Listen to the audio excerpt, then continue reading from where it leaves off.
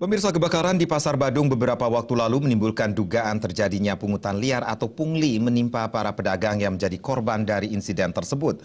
Hal inilah yang menyebabkan sebagian besar pedagang menolak untuk direlokasi sementara. Sebagian besar pedagang yang menjadi korban kebakaran di Pasar Badung menolak untuk direlokasi sementara. Yang menjadi alasan para pedagang tidak mau untuk direlokasi karena adanya dugaan permainan oknum pasar yang kerap melakukan pungutan liar atau pungli. Sekalipun ada perjanjian tertulis, para pedagang pesimis jika direlokasi bakal bisa balik lagi. Alasannya kembali karena ada oknum-oknum yang bermain. Pengamat hukum Ketut Sukawati Lanang Putra Perbawa menyatakan, jika hal tersebut terbukti benar, harus segera ditindak tegas oleh pemerintah Kota Denpasar. Dirinya menyebutkan pungutan liar tersebut merupakan bagian dari tindakan korupsi.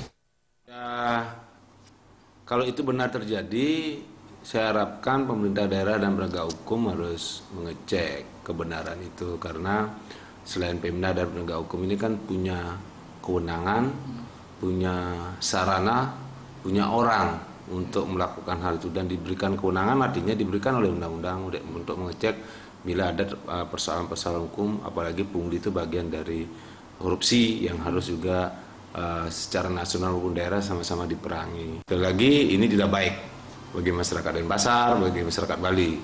Maka dari itu masyarakat, pemerintah dan seluruh eksekutif masyarakat harus memerangi hal ini.